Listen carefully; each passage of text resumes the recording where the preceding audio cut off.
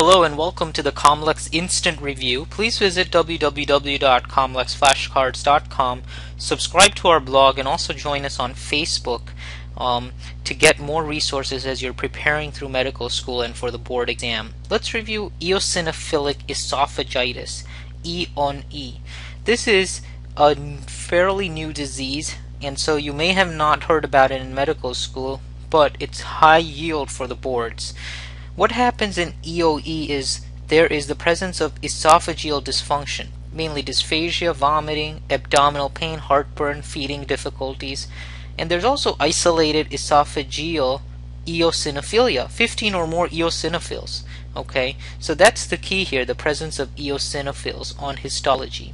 Symptoms include dysphagia, it's often present for two years or more, food impaction requiring removal, reflux uncontrolled by proton pump inhibitors, vomiting, 50% of patients are associated with atopic diseases, failure to thrive, and poor weight gain. So, again, the differential is going to be based upon the presence of eosinophils because the symptoms, dysphagia, food impaction, reflux, overlap with several diseases. Particularly on the boards, you want to be careful in differentiating GERD versus EOE.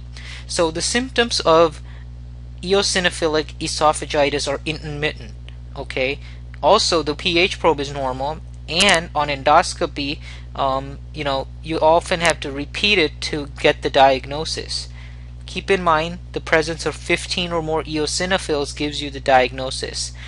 With GERD, it's persistent symptoms, abnormal pH probe, and the acid blockade with the PPI is responsive. So it's clearly different from GERD, but also make sure that you have this disease on your differential as you're taking the board exam.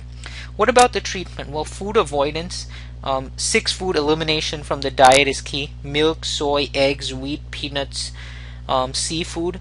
Um, and again, 35% of children on this diet did show improvement. Skin testing, the Spergel and colleagues study identified that milk, egg, peanut, shellfish, peas, beef, fish, rye, tomato, wheat as the most commonly identified allergic foods through the prick skin testing. Okay. Also understand that the skin prick was predictive in 21% of the patients for detecting and treating eosinophilic esophagitis. So, food avoidance and getting a skin test to find out the exact causes of the allergy are key in your treatment. Please visit comlexflashcards.com as you're preparing for your board exam and good luck in your preparation for the boards.